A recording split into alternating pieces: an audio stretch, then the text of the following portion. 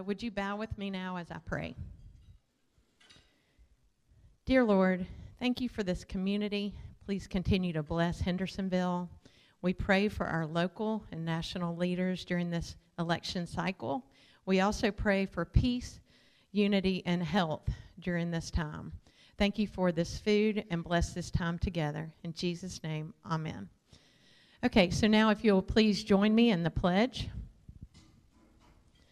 I pledge allegiance to the flag of the United States of America, to the republic for which it stands, one nation, under God, indivisible, liberty and justice for all.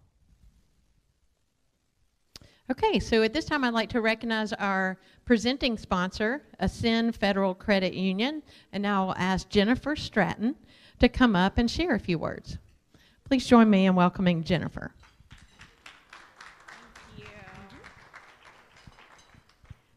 Thank you again. My name is Jennifer Stratton, and I am a business development officer with Ascend Federal Credit Union. And we wanted to first thank the Hendersonville Chamber for allowing us to sponsor this luncheon.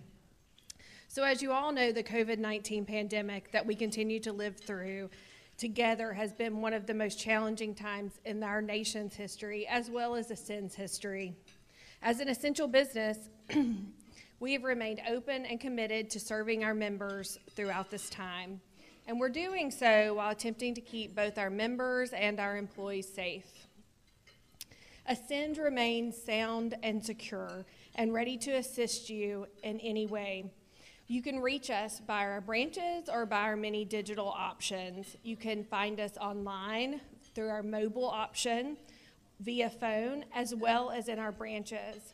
Our branch here in Hendersonville is located near Lowe's. and we continue to have those extended hours from 7 a.m. to 7 p.m. Monday through Saturday that you can reach us at any time. We are also very excited to announce that we're expanding our service in Sumner County. We're going to open a branch in Gallatin in December, and we're so excited to be uh, uh, investing more in Sumner County. So we want to thank you for your time today, and again, thank the Chamber for allowing us to sponsor this event.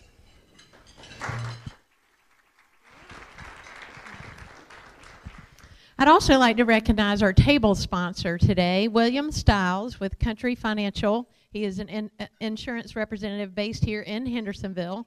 Since 1925, Country Financial employees and representatives have been helping individuals and their families achieve financial security. They can help fi- provide financial security by working directly with individuals to identify their, spe- their specific needs. They then offer a full range of insurance of financial products and services from auto, home, business, farm, and life insurance to retirement planning services, investment management, and annuities. Let's give both of these sponsors a warm round of applause. So, just out of curiosity, how many of you have attended a coffee and connections recently that the chamber has sponsored? Okay, great. That's a great show of hands. Uh, I wanted to let you know uh, or invite you all to attend this Thursday's Coffee and Connections. It will be October 8th from 8 to 9. You do not have to register. You can find the link on the Chamber's website. Ralph Schultz, who is president and CEO of the Nashville Chamber, is going to be giving us an update on the economic impact of COVID. So please join us. We'd love to have a, a record turnout for this Thursday and show uh, Hendersonville's support to the Nashville Chamber. So now I get the pleasure of introducing someone who needs no introduction. Devon O'Day is a career broadcaster known from Gerry House and the House Foundation and WSM. She is the author of seven books from Thomas Nelson and, Uni- and Uni- United Methodist Publishing House and narrator of over 100 audio books. An award winning songwriter with cuts by Dolly Parton, Hank Jr., a number one hit from uh, George Strait, and more. She is now developer and of new media at Main Street Media with live social media influencer programming and a podcast called Main Street Today. Please join me in welcoming my friend, Devon O'Day.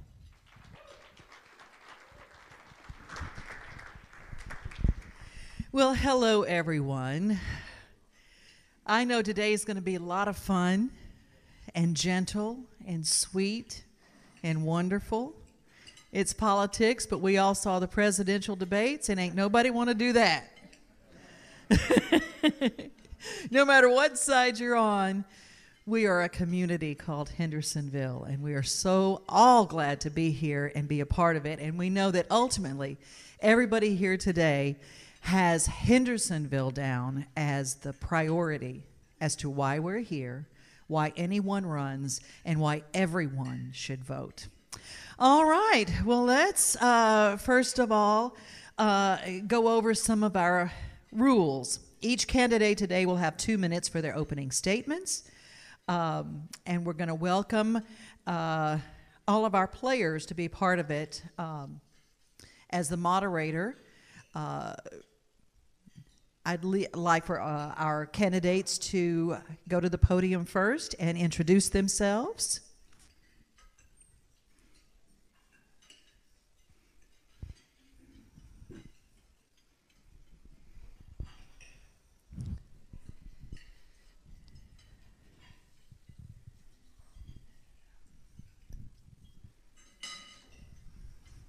All right. Let's begin first. Uh, introduce yourselves and tell us who you are and how you're qualified to be mayor. Please tell us why you want to be mayor.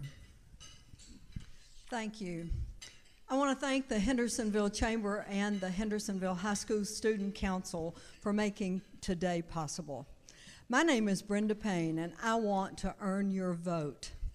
I moved to Hendersonville in 1976. I'm a mother, a grandmother, a great grandmother of six. My husband, Jim, is here with me today, and we attend community church. I began my career as a file clerk in 1968 at National Life and rose to the position of assistant vice president over the next 21 years. Hal Ramer, who was the president of Volunteer State Community College, asked me to come and lead the foundation. And I did that over the course of nine years and increased that endowment over tenfold and was ultimately named vice president of development. I later went to Sumner Bank and Trust as a business development officer, and in 2008, I was selected as the president and CEO of the Hendersonville Chamber. We built the Chamber to a premier regional organization, bringing new business in, supporting existing business, and creating events that strengthened our community fabric. My entire professional and volunteer life has been about connecting people, building relationships in the region, leading and planning, and making our community better for all citizens. I want to bring those skills that have been honed over the past 45 years to a level of a new level of public service. I want to improve communication at all levels, move our economic prosperity forward, and strengthen our community fabric for our most vulnerable citizens. My goal is to bring that same competent, common sense, and caring leadership to the position of mayor. My name is Brenda Payne, and I would be honored to have your vote. Thanks, Evan. I appreciate that, and I appreciate the chamber and what you've done here. A lot of y'all have seen me up here many times and seen me in many places, and I'm very quick to talk about being the mayor of the exceptional city of Hendersonville. And I'm very proud to be the mayor of the exceptional city of Hendersonville. I love Hendersonville. This is where I'm going to live the rest of my life, and this is where I want my children to come back and live.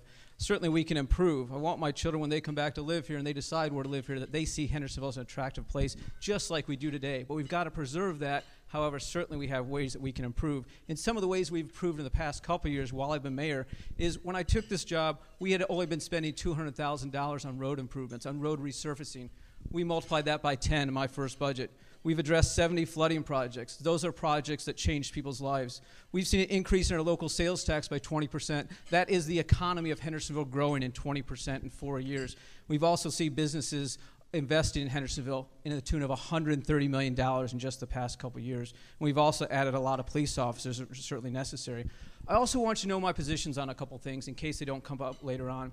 I oppose having a city administrator. I'm for term limits. I support our police officers and the rule of law. I'm pro infrastructure. I'm not necessarily anti growth, but I feel like we've got to get our infrastructure caught up before we continue to overdevelop.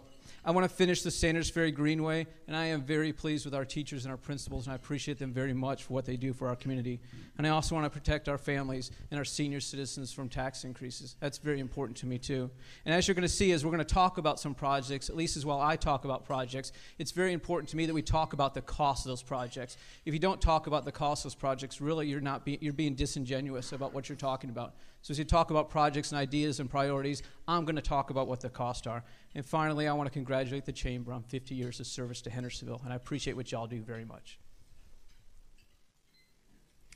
How about a round of applause? Now, that's how it's supposed to be done.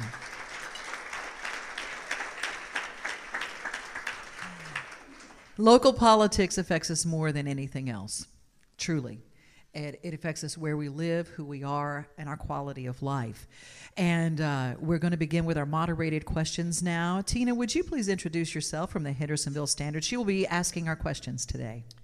I'm Tina Lee, and I write for the Henderson. I'm a reporter for the Hendersonville Standard, and I've been reporting uh, in Hendersonville since we moved here in 1998. First question everyone will have one minute to answer each question asked by our moderator, and then each candidate will have a two one minute rebuttal cards available to redeem during the forum, and each candidate will also have two minutes for their closing statement. So, we do have a timekeeper today. Thank you very much. You guys are fantastic. Thank you for keeping us all in, in line and keeping us in time. Let's begin with our first question. Tina? The first question is really a softball question, but let's just start out that way. Um, why should we vote for you? Oh, okay. Well, I believe that I deserve your vote for this reason. I've lived in this community for 44 years. I've spent all of that time working with many different nonprofits and through my professional organizations to make this city a better place. I hear folks say all the time they're hungry for honest and respectful and visionary leadership. I was a co chair for the Hendersonville Horizons Plan about three years ago. I understand the things that this community needs. I have the leadership skills and the management skills to lead this city forward. And I want to bring people together to make that happen. And that's why I think people can vote for me and be proud.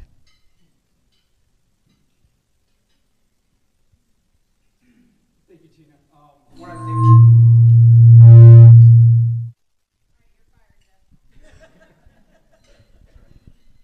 Good. Okay. Uh, when I think about the answers to that question, I think of a couple things. I think of my accomplishments and I think of my relationships.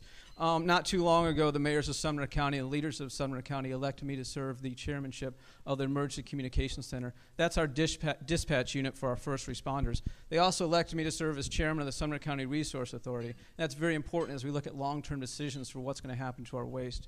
But I also got to look at our relationships that we have and the partnerships we have, especially with our state delegation. I mentioned a month ago that a lot of those folks are my friends, and I very much appreciate what they do to help Hendersonville. But it's also with the Tennessee Department of Transportation. You may have heard me talk about some of the accomplishments recently, and probably the biggest one and probably the most newsworthy one to me is what we've gotten TDOT to agree to when it comes to widening Vietnam Veterans Boulevard. Worked with other, other state leaders and local leaders to make sure that when TDOT widens 386, that it's going to be a third lane each direction of unrestricted traffic. It's not going to be HOV, it's not going to be carpool, it's not going to be mass transit. It's going to be unrestricted. It's very important for TDOT, in my experiences with them, that we sit down with them and help them understand how important that is. And certainly there are more accomplishments and more reasons that you should vote for me that you can find on claryformayor.com. Okay, uh, Jamie will give you the first stab at this question. If elected, actually, if re-elected, what would be your top three priorities? Well, I, I have to say, in listening to folks and listening to, uh, to residents of Hendersonville, it comes down to some of the same things we've been working on for a long time. One of the first things is image. Is that it's not we, we don't always have a real good image when people search for Hendersonville and see some of our city meetings going on, and that's something that dis- disappoints me an awful lot. But it's also what's going on in West Main Street and some of the original part of town. To spend some more time focusing on that and getting the nonprofit that we've started up and running. But it's also bringing jobs to Hendersonville. We have a lot of people that spend an awful lot of time sitting on traffic on I-65. I'd rather they spend their time coming back and spending time with their families. Certainly, it's about infrastructure as well, and you're going to hear me talk about that. And I know sometimes it just gets overwhelming as much as I talk about infrastructure, but we're way behind. In terms of being an attractive community, we're wonderfully attractive, but we're going to lose that if we don't maintain our infrastructure. We've got to spend time on that, and like I said, we went from $200,000 spending on road improvements to 2 million in the first year I was mayor. We've got to continue doing that. We've got to get that back up to that level. What would be your top three priorities, Brenda? Thank you, Tina.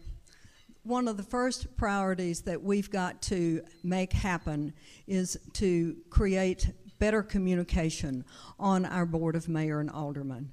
We've got to be sure that we have the kind of trust and respect that brings civil discussion at that level. We can't make anything happen, it doesn't matter what kind of plans you want to have, but we can't make anything happen until the dysfunction on that board gets to the right place. That is a part of the image process that is sadly lacking in the city of Hendersonville. What I want to do is make sure that we as a board do strategic planning, which hasn't been done in years, so that we know where we're going. You can't know where you're going to go if you don't plan for it. I want to bring jobs here, and I certainly want to make sure that we support the most vulnerable people in our community, and they are seniors, special needs folks, and youth. And we need to wrap our arms around those folks, and I'm going to bring those people together.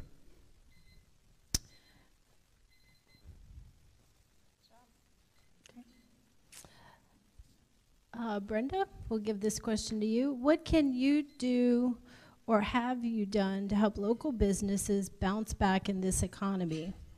Please give specific ex- examples.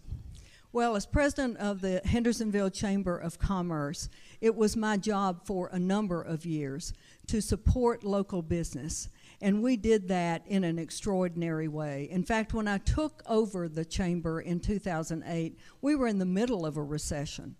We were able to bring hundreds of new businesses to the chamber even through that time because we understood the resources that they needed to make sure that they could thrive in that very difficult economy. So we brought the, the resources through the Small Business Development Office, through Forward Sumner, through uh, the Tennessee Department of Economic Development, and a number of other areas so that they had the training that they needed, the support, the networking that was necessary to make sure that they could continue on and be a successful business. I can do that now.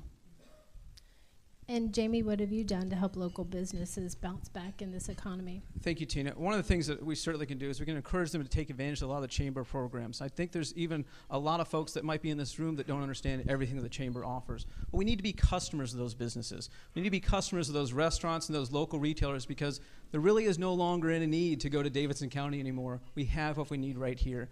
And in terms of helping them bounce back, one of the things that we want to do is we want to help those those businesses that have attracted so many people lately keep those customers.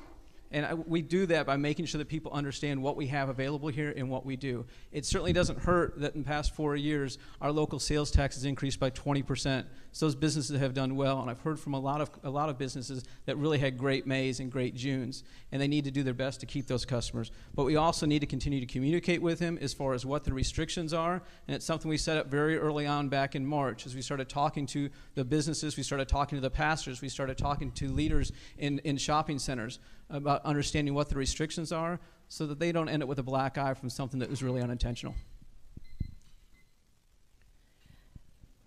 Jamie, what steps would you take to make sure we are having responsible development? What is responsible development in your opinion? Um, the steps we need to make sure to take in responsible development is we have to look at the numbers. We have to look at what happens when we talk about especially residential development versus business development. Business development, to me, we're full out all four. We, that's certainly helpful in providing services to people in Hendersonville. When we talk about over, when we talk about overdevelopment and residential development, we have to look at some very data-driven numbers, and that's this: we spend about $900 per person who moves into Hendersonville in terms of city services we receive about $500 per person in what they bring to the city. That's in sales tax and that's in property tax. That's a $400 deficit for other, every new person that moves into the city.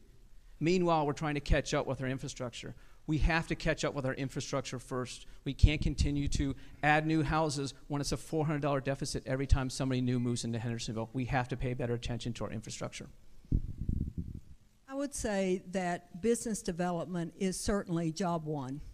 We need to bring new high paying jobs to this city so that our commercial property tax and residential property tax from those new residents will be high. It is really important, however, for us to not forget that rooftops are important for us. Businesses come here for a reason. They come here because there are people. They come here because they need people to support their businesses. It is a balance, obviously. And so this is a really attractive community for people to be here. We want to make sure that our standards remain high, that we're building the right kind of development, that we're managing the growth in a way that is good for us, that we're building the infrastructure at the same time that we build residential developments. Because that's been the problem for years. We've just let those things come after the fact.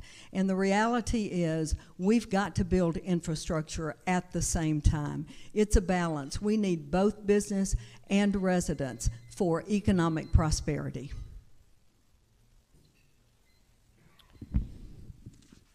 Brenda, do you feel it is important for the city and the chamber to work cohesively to support businesses, conduct events, and prosper economic and community development? If yes, assuming that you would say yes, how do you see your role in continuing to nurture this partnership? Well, that's a great question, Tina. And the reality is, of course, I feel like we need to continue to be a partner with the Chamber of Commerce. I think the Chamber is one of those economic drivers that is uh, one of the best partners that the city could have. But at the same time, we need to have someone in the office of mayor who is working as that leader for economic development. That's what I have done for many years working to be sure that we are at the table and recruiting business into the community so that the Chamber of Commerce can do the things that they do well, which is support the folks on the soft things that they need continue to have uh, communication between the chamber and the city of Hendersonville, reduce regulation for those new businesses that come, and support all of our existing business with events that strengthen the community fabric here. I'll give her another minute. No, just kidding.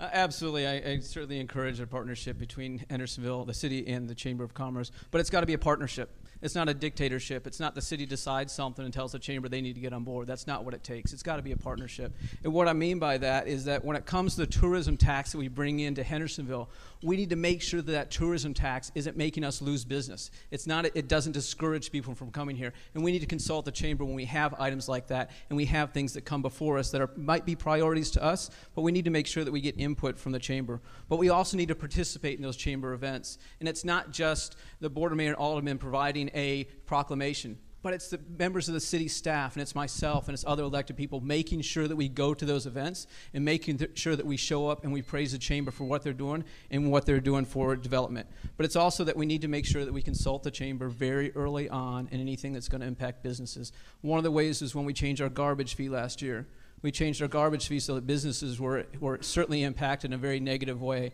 It's important to me to get with the chamber and get with the chamber leadership and to get with people who are members of the chamber so they understand the negative impact that was going to have on them. Along with the business questions, Um, do you, Jamie, do you agree with BOMA's decision earlier this year to move the city's economic development director under the planning department? In your opinion, should the city have its own economic development department like nearby Gallatin? What type of economic development should Hendersonville pursue? There was no reason to move it under the planning department. It was functioning quite well, and you heard me talk a few minutes ago about the fact that um, we had increased our local sales tax by 20% in four years, and that was done with a previous situation where the plan, where the uh, economic development assistant worked under me. We also have seen Rod do a wonderful job in terms of getting grants for this, for our biggest businesses here, $240,000. We've also seen our biggest 20 employers increase jobs by 400 people. That was working quite well. There was no reason to change it and put it under the planning department. We don't see successes in other cities that have their economic development people under planning. In fact, there are very few other cities that have economic development under planning because it just doesn't work well. It doesn't work as well as it needs to. Now, certainly there needs to be consultation between the planning department and the economic development people. But it shouldn't be a situation where they respond to somebody in planning. They need to respond to the mayor because the mayor's accountable to the people of Hendersonville, and the people in economic development need to work with, with the same priorities. Well, I believe that economic development needs to be set aside and be a separate part of what is happening in the city. Uh, the ECD director needs to work directly with the mayor, certainly. But I, I would point out that our sales tax revenue didn't just start mm, uh, getting higher over the last few years. While I was at the Chamber of Commerce, of course, the streets of Indian Lake and Glenbrook had begun to come online, and we began to see higher sales tax revenues coming in for the last several years. And I am delighted that people in Hendersonville are supporting our retail and our restaurant here. But we need to be able to bring even more of those businesses here. And we'll do that if we can bring higher paying jobs and better businesses to our city so that we can be sure that we've got that daytime traffic that supports our restaurants and our retail business throughout the time. I certainly am uh, wanting to be sure that I work with the economic development director to bring the best business here to town. That's what I do, it's what I know. Brenda, you may have read in our paper that city leaders voted in 2019 to hire a city administrator to oversee many of the day-to-day operations at City Hall that had been handled by the mayor. What do you feel the main role of the mayor is currently, and how are you equipped to fill that role? Thank you for the question, Tina. Of course, I started running for mayor before the city administrator position became a part of the landscape.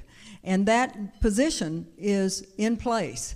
And so when I become the mayor, my goal is to honor both the Citizens Committee that made that recommendation, as well as allow the new folks who are going to be seated on the board to be able to look at the current needs and make a decision about how we move forward. I look at what the mayor's role is to be doing the higher level positions. Those things like strategic planning with the board, recruitment of business here, branding the city, advocating for us, making sure that we're doing all of those visioning things for the city. I can do both of those things. It doesn't really matter to me whether we have a CA or we don't have a CA, quite honestly, because I've done all of those things. But my position will be in working at those higher level things that the city so desperately needs. Uh, to me, one of the most important things I can do as mayor after the election is reverse having a city administrator. I think that's vitally important in talking with folks and listening to what they have to say. They don't want to spend $200,000 on this position. They'd rather have three police officers. They'd rather repave miles of road. They'd rather add to our parks. They'd rather help our schools. That's approximately $200,000 on an experiment that has absolutely failed. So my job after the election is do my best to reverse it. Because to me, it's about accountability. It's about the person who runs the city and supervises the city. It's about that person being accountable to the voters. And again, this is things that I've listened to voters and heard them talk about. So, really, what we have here, because of my position on this, is we have the opportunity to have a ref- referendum on the city administrator. We had a lot of people who voted for city administrator and they're up for reelection. If you don't want a city administrator, don't vote for those folks. If you do want a city admin- administrator, vote for those folks. But again, it's about accountability. And we have the opportunity to have a referendum on having a city administrator. I don't want a city administrator long, any longer. And if you don't, please vote for me. Well, Brenda has pulled her card. So, Brenda? Thank you very much. Um, this election is not a referendum on the city administrator. This election is a referendum on who has the best leadership, management, uh, communication, consensus building skills between the two candidates. A city administrator works very well in many other cities around this region. The reality is the position of a city administrator allows the city to run in a way that saves money, and that's been demonstrated time and again in many cities. So the, the position of a city administrator is really a chief operating officer that handles the minutia of the business and only does what BOMA asks that person to do. They're not setting tax rates, they're not setting goals, they're not setting vision for the city. They're simply implementing the tactical plans that BOMA has wanted them to do through their strategic planning process. So, in my opinion, it is not taking any power away from the mayor at all. It's just an adjunct professional person. Okay, along those lines, Jamie, city leaders voted this year to decrease the mayor's salary from 100,000 around to around 42,000, uh, beginning with the November 3rd election. Currently, do you see the mayor's job as a full or part-time position? If elected, would you vote to increase the mayor's salary? Well, when there was a small study done on this about mayors and other cities with city administrators, one of the things that came up over and over and over again was people, it, mayors that had a city administrator, they still work part time. And it's very obvious that the work that they did was such a priority that they need to be there part time. I'm still working 45 hours a week, if not more. And so it's obvious this situation that it is full time. I propose that we could have had a chief of staff and somebody that still be responsible to the mayor and still be responsible to the people of Hendersonville and still have accountability to the people of Hendersonville. And unfortunately, that didn't pass. But to me, it's very important that we look at, if we're going to look at one person's salary, we certainly look at what they're doing. The way that that was changed was completely arbitrary. It was one member of our, it was one alderman throwing out a number and another number throwing out another number. There was no study done at all as far as what other mayors doing. There is no consideration for what the responsibilities are. There's no consideration for how many employees there are. There's no consideration for how big the budget is. And I got to tell you, for somebody who signs a million dollars in checks every week, the responsibilities are still pretty high. Well, I never took on this task of running for mayor because of the salary. And in fact, um, the salary has never even been a consideration for me. I do not believe that the mayor's job, even with a city administrator, is a part time position because there are too many other things that a mayor will need to do that will create that as a full time job. And I'm going to say this I have never taken a position in my life that was not bigger after I got there than it was before I started. And that will be exactly what happens when I become mayor of the city because I will be working with that city administrator and all of the department heads who currently report to the Board of Mayor and Aldermen. That's been the structure all along, and it continues to be the same structure.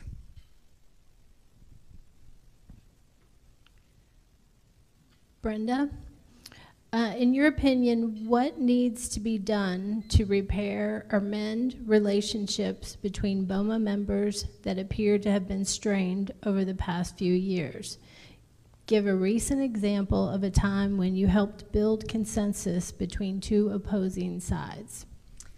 Well, I think the thing that needs to happen is we've got to build trust and respect on that board. We've got to make sure that people understand there are the Shalom Zone board, which I've chaired twice, Uh, and we had to build consensus about where we were going to move in terms of building uh, an, a new gymnasium there and how we were going to, to make that happen. It was a pretty contentious issue because we're talking about raising another couple of million dollars. So those are things that I've done for a long, long time. Uh, but I think it's important to uh, take the temperature down on that board. I am not a career politician. I have not been uh, a political hack at all, and so it is. Uh, it's not something that I bring baggage to the position. Thank you. Appreciate that, Tina. Um, one of the things I, I, think we have to look at is you have to look at a lot of other cities and the history of other cities and the history of Hendersonville. Very often, the mayor, because they have a different perspective of what they're doing every day, very often they find themselves voting the minority. Very often, they find themselves voting alone, and that happens in a lot of cities, and that happens has happened in the history of Hendersonville. Um, but I got to say something. I think sometimes we forget that we have a lot of examples of recent consensus. I appreciate you asking for one. I'm going to cite several. We recently passed a new zoning ordinance. That was something that passed unanimously. That is a huge document and could have the possibility to be incredibly contentious. It passed absolutely unanimously because we had so much time ahead of time. We had so much conversation ahead of time about that. But also addressing flooding problems. And again, those are life changing events for a lot of people who live here to address the situation with their homes. We rebuilt a fire hall. We've added police officers and firefighters. We've increased spending on roads. And we've also added our license plate recognition system. This is huge. That was something that the board got on board with very quickly when it was presented to from the police chief to me and then from me to the board to have those license plate recognition cameras. And we recently caught two violent sex offenders with the help of those.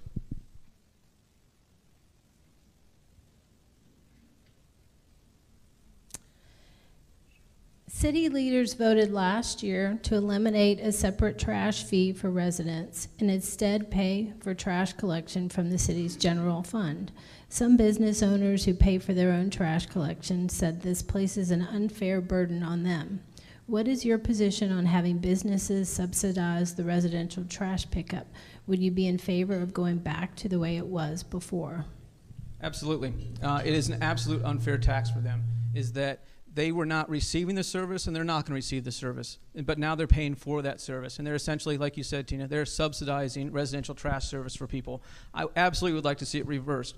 For 40 years in Hendersonville, it has been that way. And we've stood out as a model for other cities, and other cities have, have, have copied us on this because we had an example that absolutely made sense. The people who get trash service, they pay for the trash service. The people don't, they don't what was reversed last year was absolutely wrong. And I reached out to several businesses and helped them understand what was going to happen. And they showed up at meetings and they, and, and they let their aldermen know that they were against that. And in terms of attracting businesses in Hendersonville, we just lost one thing that we had to help attract them. We lost something very positive that helped attract them because it wasn't just their property tax that was low, but it was also the fact that they could go out and, and make sure their property taxes stay low because they weren't paying for other people's trash. I would absolutely want to see that reversed.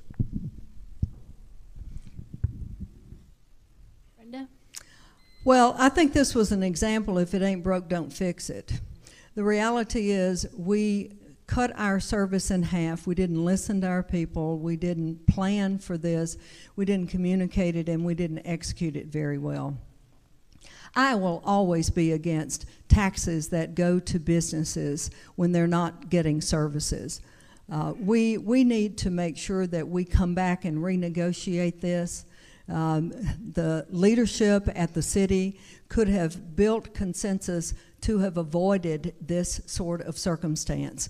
And so the reality is we need to come back to the table, identify what we can do to renegotiate this, move this back along. Um, we've cut the service in half and basically have not saved any money. And so this this has not been good for our city. It has certainly not been good for our business community. And I want to make sure that we are placing as little regulation on our business as we possibly can, and certainly not uh, unnecessary taxes for services that they're not receiving. Okay, rebuttal. Thank you. Um, I think one thing we have to remember is how we got to this situation was that uh, in March of 2019, Republic Services was providing trash service for us. I asked them if they would extend that contract that was going to end in June, and Republic Services said no. So that made our staff have to go out and accept bids for new trash service. At that, soon after that, our board decided to hire Waste Pro, a different company, and they decided to go to once a week backdoor trash pickup. It really had nothing to do with the way the businesses were impacted. That was a completely separate decision. And unfortunately, we brought in a city administrator about the same time. The idea with the city administrator was going to address things like this. It was going to address problems like this. As you see from the trash problems, that hasn't worked. The city administrator has absolutely failed experiment, experiment, and it's cost us more than $100,000, and we absolutely need to reverse that. But what's more important is that we continue to listen to businesses, and we continue to listen to individual residents here and do what they really want to be done. But when you don't have somebody who's going to pick up your trash, you got to go out and find somebody to pick up the trash, and that's what we did. Okay, is Jamie, th- get the next question? Each of you have used one rebuttal card, and uh, we are now at 1227. So just giving you uh, a brief overview of the time and where we are in that, and we'll begin closing statements at 1250. Okay. Speaking of trash, the city has had issues with Waste Pro, the company that collects trash for the city, since the company took over trash collection in July of 2019. What would you remedy the issues this how would you remedy the issues the city has had with the company, Jamie? I appreciate that. I mentioned a little bit about that. I guess I sort of jumped the gun there a second ago. Um, we don't have the opportunity to renegotiate a contract. We don't have the opportunity to cancel a contract. When I hear people talk about that, they don't understand the business side of this. That contract was written by our city attorney and it was signed by both sides. What we need to do is we need to enforce that contract. I asked at a board of mayor and alderman meeting a couple months ago for our city attorney, excuse me, our city administrator to enforce that contract, and he refused. What I mean by enforcing that is when the company, and this is in the contract, when the company skips a house, they can be fined $50. That's significant. They make $3 when they pick up the house correctly. We need to enforce that contract. We will get better trash service when they understand that we're going to enforce that contract. $3 versus $50 is really going to make them stand up and pay attention, and it's going to improve the trash service. But it takes the city administrator, or it takes the mayor if we eliminate the city administrator after this election. Well, I've never seen a contract that couldn't be renegotiated, so I, I'm not sure that that's actually the case. But I think we need to bring that back up to the newly seated Board of Mayor and Aldermen when we get there. The reality is, yes, we need to execute that plan. We need to hold the trash vendor accountable for what they are not doing. We need to make sure that they are doing everything that they can, that they are funded properly through the employee base, that we uh, they understand where all the streets are, uh, that uh, they are moving toward getting everything picked up. We cannot afford to have residential streets go week after week after week. And so I absolutely would be making sure that they are accountable. I think we're in agreement with this. Uh, but the uh, reality is contracts can in fact be renegotiated and even if the contract's not renegotiated i will bring them back to the table so that they understand very clearly what the expectation is so that we get the right job done Part of this next question, Brenda, was you've already answered. Um, would you be in favor of renegotiating the, the contract with Waste Pro? Um, the other part of the question is Are you satisfied with once a week backdoor service, or would you like to see the city move to more frequent curbside service? Well, I get once a week, and we don't really produce that much trash. But there are many families around this community that once a week is just not sufficient. And I will say it again if it ain't broke, don't fix it. Twice a week pickup was certainly what our community had been used to. And we needed to not be looking at a way to change that. What's happened with this is the contract that got negotiated with Waste Pro wound up not picking up all of the things that our previous vendor had picked up. So now we've got yard waste and other items that they don't pick up, and they wind up coming through and uh, going through the trash to see what it is they're not going to pick up. Our Public Works Department has had to backfill that activity, which means that we're spending more money at the city that we didn't have to spend before. So we have not saved that much money on this contract. Appreciate that, Tina. Uh, we've saved somewhere between one and a half and I think 1.7 million dollars with this contract. But to me, the answer to the question is really it's up to residents and how residents feel. We have a lot of people that are moving in here um, from other places where they were used to once a week or they were used to curbside, and that's something that we all considered. I think I can speak for all the board mayor and aldermen is that we considered a lot of the comments we heard from people before we made that decision. But if you want to change it, if you want to do something more expensive, I have to ask, how do you pay for that? Right now, we're really stretched. We're very, very much stretched. Money that really should have gone to roads, we've cut that back. You heard me mention $2 million for roads a couple years ago when I prepared the budget. This year, it's down to a million. So if you add a new expense, you've got to find somewhere to cut it. Or you have to raise taxes. I don't want to back ourselves into the corner where we have to raise taxes. And as far as yard waste, to me, this is one of the things that we've had successfully done in Hendersonville. We have less trash per household going to landfills right now because our yard waste is now being recycled. It's not going to a landfill anymore. We were under the impression before that that was not the case, and we found out later on that it was the case. We have more recycling going on right now per household than we did before I was mayor, and that's because our yard waste is being recycled and turned into mulch. Did I go over? I'm sorry. He's, he's gonna turn off your mics if you go over, or if you talk over each other, like we learned. You were right, Kevin, we learned. But you could breathe. We're not gonna talk over each other, that's all. Tina's like, you got, look at that sass. Jamie, um, would you like to see the city offer a citywide recycling program to its residents? If so, how would you propose paying for this? I appreciate that, Tina. Um, and I, that's a very good question, especially the second part. I'm passionate about recycling. I was the first mayor in the history of the city to start a recycling program, and it's a pilot program to see how it go and to see how it would do. Fortunately, um, we found out a lot of information before we went much bigger. The industry changed in those 18 months. China quit accepting our, our, our, dirty plastic and our dirty cardboard, and everything changed worldwide. We're fortunate that we have Green Village here because they are picking up the slack and they are allowing people to recycle, and they're doing wonderful work for us, which means overall, we all send less stuff to the landfill, and that's hugely important to us. But as far as the second question, that's very important. We sought businesses to come out and offer to have a drop off point for our garbage, and nobody wanted to do that work. We also sought businesses start a curbside program, and we had a couple bids. The least it would cost us is $1.2 million. We can't just absorb that cost in, in our general fund right now.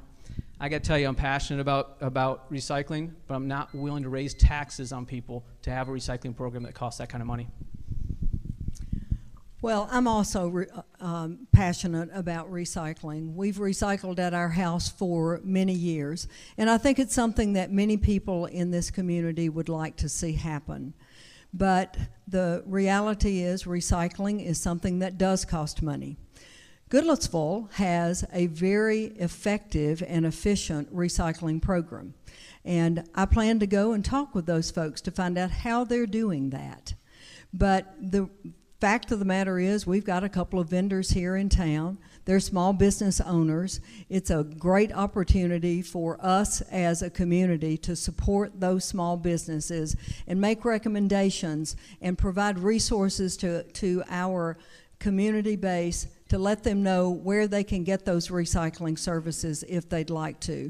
But if there's an opportunity to find other ways to do it, then I think we deserve to look at those and, and bring those to us, not to raise taxes, not to spend money, but to provide a service for our citizens who want it. Okay, Brenda. Um, I was doing some research and came across an article in the Tennessean from 1979 that talked about the importance of aligning Old Shackle Island Road, Main Street, and Walton Ferry Road. The project, according to the article, dates back to at least 1977. Both Sorry, I was in kindergarten. It's been a while. Both the traffic light synchronization project and a new connector road at the Saundersville Road Railroad crossing have each been discussed for more than a decade. What would you do differently to try to move these projects forward with the Tennessee Department of Transportation, who, by the way, seems to always get blamed for these projects? Should the city look at ways to be less reliant on the state for some of these projects? Well, thank you, Tina. That is an interesting question. And in fact, that project is almost as old as I am, and that's really pretty bad. Um, so, um, what I would say about that is there have been numbers of mayors involved in these projects for the last 35 plus years. And we as an organization and a city have got to continue to have relationships both at the state level as well as within our own county level to collaborate and push those projects ahead. I am always going to be willing to pick up the phone and call the people who are influential in making those things happen. I've had people in my life say that I am like a terrier dog, and I will not rest until those things happen. But I will work collaboratively with the organizations here in our own county to make this happen. We have to do it. Thank you. Tina. You heard me mention a little bit earlier about partnerships. It's important to me that I have partnerships with our state delegation, with TDOT, and it's not just the assistant commissioner and the commissioner of TDOT, but it's also the maintenance guys that are in the, in the shop in Gallatin. The synchronization project is very frustrating to me. That got delayed because of an error that happened in 2015 that TDOT didn't even acknowledge until just a couple months ago. But we've sat down with them recently, we've overcome some hurdles, and that project is getting back on track. They've also, I've got to appreciate TDOT for the work on New Shackle Island Road, a project that went forward wonderfully. And we widened New Shackle Island Road not too long ago. And I also have to thank them for their work on Vietnam Veterans Boulevard and, ex- and their decisions on expanding Vietnam Veterans Boulevard. And that really comes from the relationships that I, as well as the other mayors of Sumner County and Forward Sumner, have with our folks at TDOT. But when you talk about these projects, and you talk about the alignment project that is purely a, a, state project and we contribute to it, what we run into is when they handle it, it's their money, we have to work on their timeline. When you talk about the tunnel over here, that's a $12 million project. If we want to handle that project, we have to double our property taxes. It's a 10 or 12 million dollar project we're going to continue to seek federal money for. Along those lines with the projects that I mentioned, and maybe another one that might come to mind, um, in your opinion, what is the most important project needed for our city, and how would you propose paying for it? When I, when I think of, of I assume it was me. Okay, okay. When I think of projects like that, I'm very data driven. Is I have to consider the cost. I have to consider as a need versus a want. I have to consider what residents are saying. Uh, and very often, it's better roads and it's infrastructure improvements. But if you want to talk about one project that's very important to me, it's the Sanders Ferry Greenway. Certainly, the other projects and regular maintenance of infrastructure are hugely important to me. But the Sanders Ferry Greenway is something that's been out there for a long time, and it certainly helped the businesses along there and help us bring jobs and help us to continue to bring revenue. Um, if there's any other thing that I put out there, it would be our continued work with schools. Is the SMORE program that I started three years ago has been incredibly successful for students that have a hard time reading and they drop off their reading skills in the summer. And it's something that the relationships I have with businesses help support that. So there's no tax money going to that. And along with that, I have to say if there's one other thing, I'd like to see all of our schools being rated a 10 when it comes down to what they're rated on greatschools.org. Thank you. Well, I would have to say that as I've been walking neighborhoods, I hear constantly that my road needs to be paved. I have watched roads all through this city that have not been paved in over 35 years. They're down to the gravel. People are busting tires as they're going along in their neighborhood.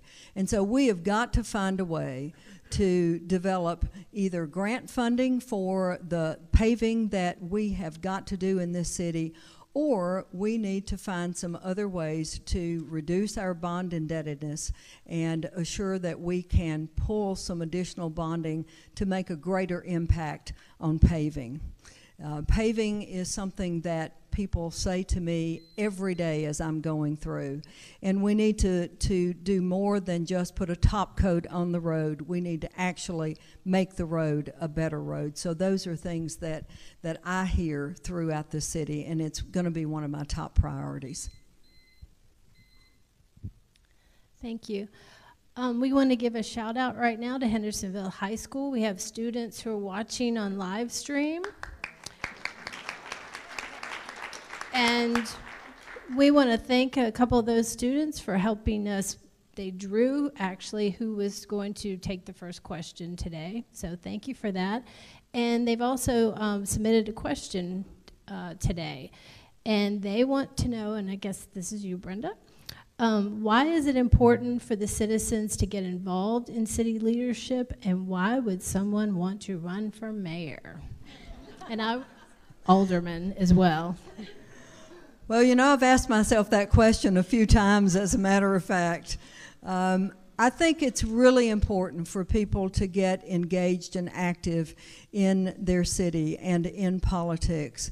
What happens here locally is the most important thing that affects all of us as citizens in Hendersonville if we are not paying attention to what we're doing at BOMA, if we're not paying attention to the projects that we need, if we're not paying attention to how our taxes are being spent, then we have not done our civic duty. I had someone tell me about 15 years ago, Brenda, public service is one of the most important things that you can do in your life.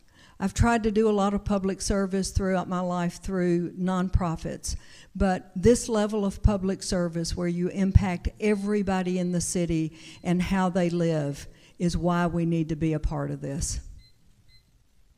Thank you, Tina, and thank you, Hendersonville High School. Um, I think the simple answer to that question, I've got a couple answers to that, the simplest is because I love Hendersonville. Um, I graduated from Hendersonville High School, and I've lived here for an awful long time, and I intend to live here much, much longer, and I hope my children come back and live here. This is not a stepping stone. Some people seek public office they can seek, uh, seek additional public office. That's not me. Uh, this is a job that I want, this is a job that I do well, and this is a job that I want to continue to hold. Um, I also think it's very important that the mayor be a person that supports our first responders, our firefighters, and our police officers. That's a huge priority for me, and I want to make sure that the mayor, that the person in the mayor's office, that that's a priority for them. I, like I mentioned before, I want to keep Hendersonville attractive. We're an exceptional city right now. We've got to continue to listen to the people that are here as well as the people that move in so that we can preserve Hendersonville, preserve what it is that they love about Hendersonville. Again, certainly I see that there's need for improvement. What it comes down to is that the reason that I want to be in public service, the reason that I want to be mayor, is because I feel like I'm the best person to lead this city. And I realize that sounds a little bit arrogant that I'm better than anybody else, but it's because the vision and the, and the experience and the time that I've spent here that allows me to say that. Thank you. This is another question that has come from a viewer via live stream. How can the city partner with nonprofits to not duplicate services and maximize resources and investment in our community? It's a very good question, and we have a nonprofit committee, and we also have requests that come in through me, and it's an awful lot of collaboration. It's working with our nonprofits. One of the things I did very early on when it came to COVID hitting hitting us is I sat down. Actually, I didn't sit down. I called and I and I zoomed later on with a lot of people that were involved in our nonprofits, and I appreciate very much what United Way did during that time. Is they really became a catalyst, really a conduit for me to reach out to some of those folks and understand some of the problems. We also have to realize that our biggest nonprofits are churches is very important to me to sit down with pastors a couple years ago at one of their regular luncheons, but it's also important to me that I maintain those relationships with them so I can understand what the services are that they're providing and what it is that they're being expected to provide. We've got to continue doing that, not just with the nonprofits in the traditional senses, but the nonprofits that are churches, because they are serving an awful lot of folks here that may be under the radar that we don't understand. Now, in terms of not duplicating services, I want to make sure also that we continue to communicate with them and help them understand that they need to communicate with each other as well. Well, this is one of those areas where I must agree with a lot of what the mayor said, but I, th- I think there are other things that we can do. I have chaired the board of United Way of Sumner County twice, have been the fundraising co-chair for United Way of Sumner County. I've raised money all over this community for a variety of nonprofits. So I have a lot of relationships with those organizations. United Way does a great uh, job in making sure that duplication of services doesn't happen. But one of the things that I've talked about as I've gone all over this community is I recognize that there are at least three different areas of folks who are really vulnerable in this community. Our seniors, our youth, and our special needs persons. And what I want to do when I get there is gather those folks who work with those different agencies, let them figure out what they're doing today, what are the gaps, how can they fill in those gaps, so that we can strengthen the community fabric here and provide the kind of services that our really vulnerable population needs. And so I think that's one of the biggest things that I can do as mayor. Brenda, what do you feel like your biggest challenge would be if you were elected mayor? Well, I think the, the biggest challenge right out of the gate is really just creating that lack of dysfunction on our board of mayor and aldermen. And so I've said that before.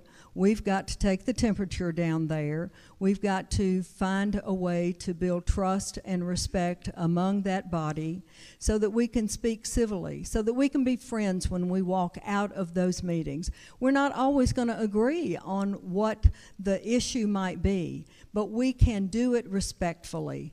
And that is important because what's happening today is our image throughout the region and even throughout the nation is being tarnished because folks are looking at what's happening there. So that dysfunction has got to be reduced. That way we can begin to actually do the work that the city of Hendersonville uh, is so desperately needing and you want for your city and, and to, to grow and prosper. Thank you. Thank you, Tina. The biggest challenge that I see repeatedly when I listen to folks that live here, and especially folks that move in here, is they want more from city government. They expect more.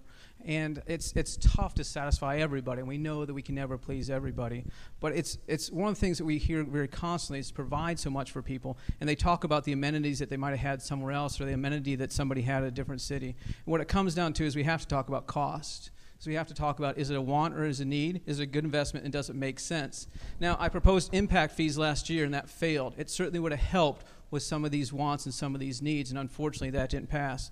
So what we're in the situation we have to do when it comes to challenges and providing what people want is we really have to maintain what we have and we have to determine the needs from the wants. In the past four years, we've opened a new greenway, greenway off Saundersville Road. We've also um, opened three new parks, and we've, we've created a bunch more sidewalks. Very proud of that. So if I think of really the challenges in responding to folks what they want, one of my highest priorities I just mentioned a few minutes ago is the Sanders Ferry Greenway. That's a huge priority for me, and that's going to continue to be. Before we move into the next questions, now we're getting into the closing arguments. Tina Lee from the Hendersonville Standard, amazing questions. Thank you for what you've done. And we want to thank, yes. And a big thank you for our city leaders in the making at Hendersonville High School for weighing in on this conversation. And for everyone who has joined us via social media, one thing COVID has taught us is that social media is a powerful medium, and you can all be a part of this conversation with your comments, with your shares. We want you to be a part of this. And one thing that we do know, no matter what, we have two candidates who love Hendersonville. Am I right?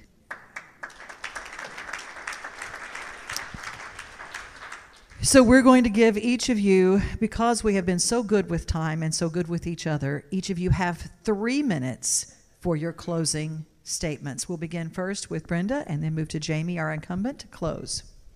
Thank you, Devon. And thank you so much for being a part of this. Um, please and Tina and, and all the folks here at the Chamber, Kathleen and her staff for being uh, so willing to work hard to make this happen today. I am honored to have lived here for over 44 years.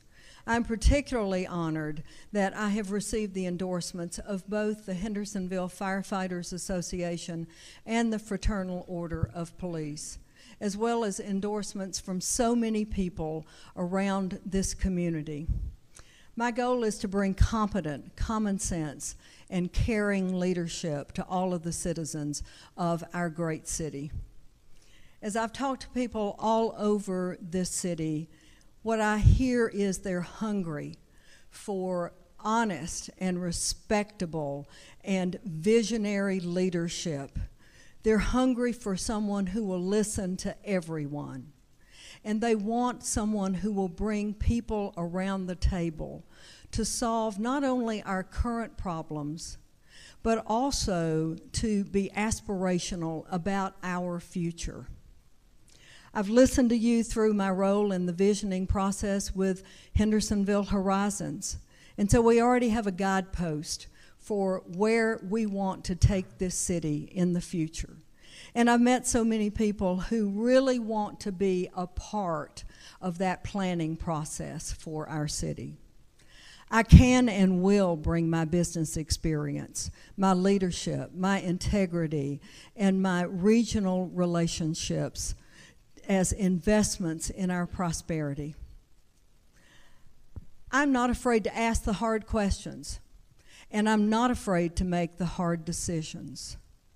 I will work every day to make our city the best city that it can be. I want people in four years to look around and say, oh my, what is going on up there? They really have their act together. I want to serve you. You will never call my office and hear me say, it's not my job. It will always be my job. My name is Brenda Payne, and I want to be your mayor. And I would be honored to have your vote at early voting and on November 3rd. Thank you, and God bless Hendersonville.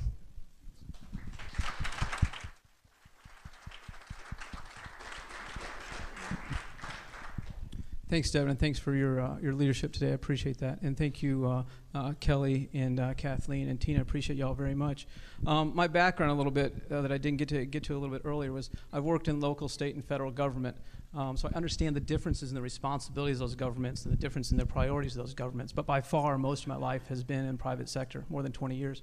10 of those years was in economic development, where I worked with companies that wanted to bring jobs to local communities.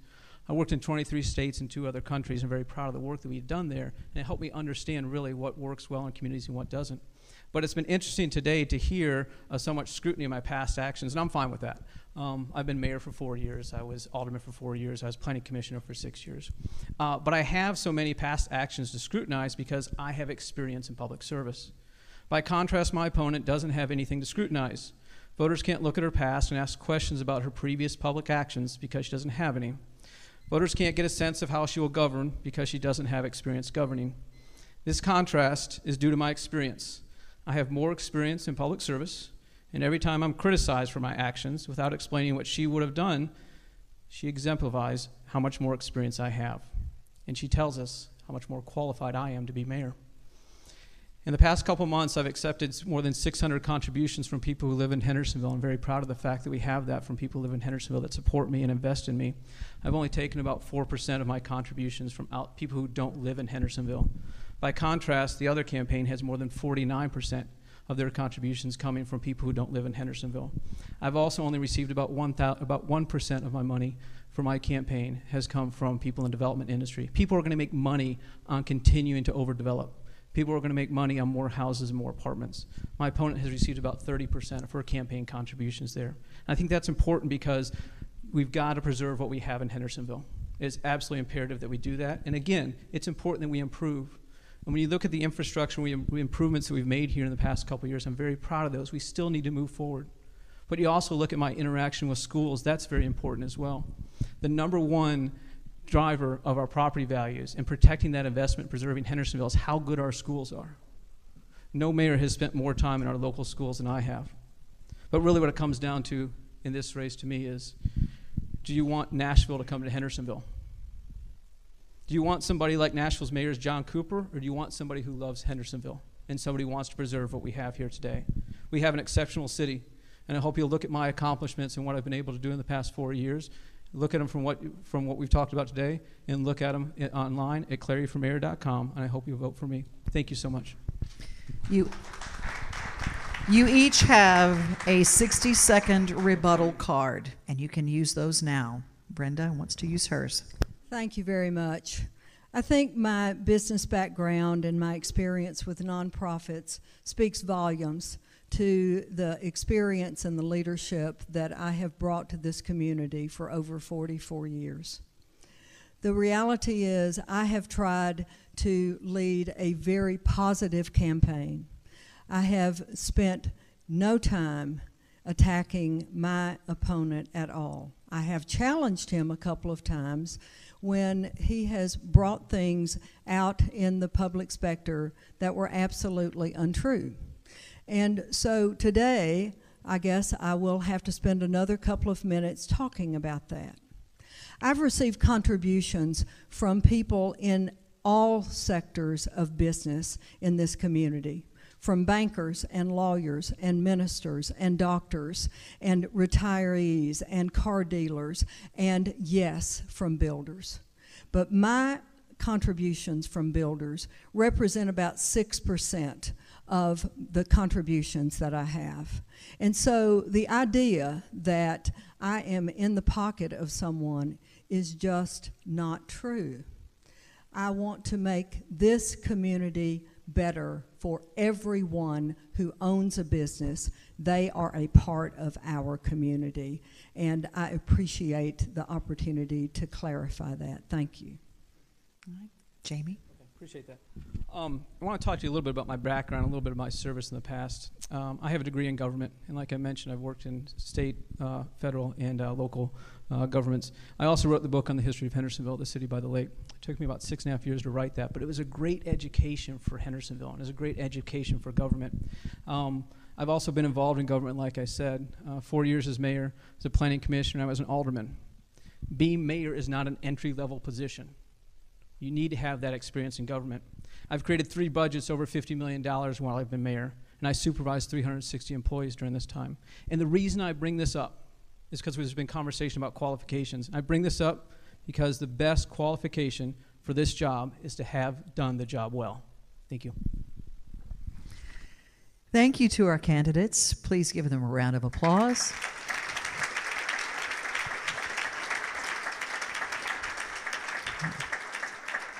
And thank you to all of you for showing up, for caring enough about your hometown that you showed up to hear people talk about why they want to be mayor.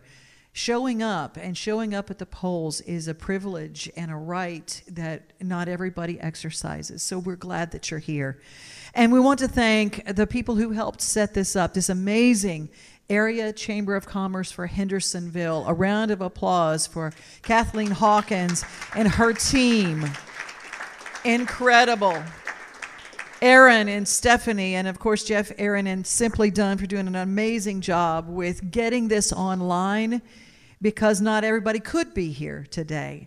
There are only so many seats to respect our social distancing. distancing. A lot of people would have loved to have been here, but they couldn't.